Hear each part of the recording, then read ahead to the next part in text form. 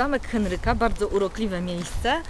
E, był to zamek przeznaczony tylko na polowania, tak wybudowany specjalnie w tym celu dla księcia.